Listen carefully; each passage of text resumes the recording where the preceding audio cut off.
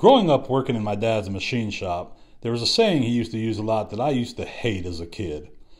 I'd be running my machine while sitting on a table, and without fail, my dad would see me sitting there and yell from across the shop, If there's time to lean, there's time to clean, Barry. I would always think to myself, geez, man, my machine is running. Who cares if I'm sitting down reading a magazine or newspaper? Keep in mind that we didn't have cell phones way back then. But as I got older, I realized the importance of what he was teaching me. I realized that this wasn't just for the company's benefit, but for my own as well. Part of being a great machinist is being clean and organized. While a machine is running production, there is a lot that you can be doing to make yourself more efficient.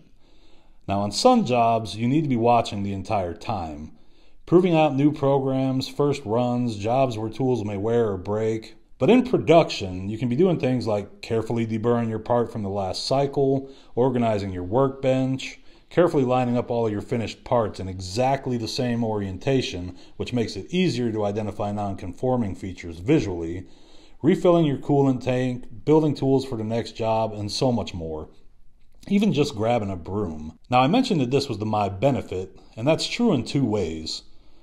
First, when you keep yourself busy, time flies. I remember sitting there all day watching the clock, and it seemed like it never moved. But once I started keeping myself busy, the day went by a lot faster. I also found that I'd started to race myself and was constantly trying to beat my own times. Like if it took me 20 seconds to change out a part, I started trying to get it down to 15 seconds, then 10. This added a little aspect of fun, as now I was in a never ending competition with myself. And as I got faster and more efficient, I was suddenly making more money, and then I was racing other people and having fun and laughing with them. I know it sounds funny, but I remember pretending that I was a robot, and every move I made was carefully executed with precision.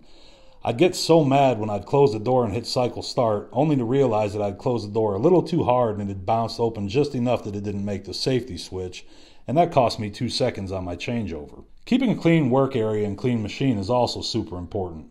I'll never forget and never repeat the mistake of not cleaning the bottom of a vise before mounting it to the table.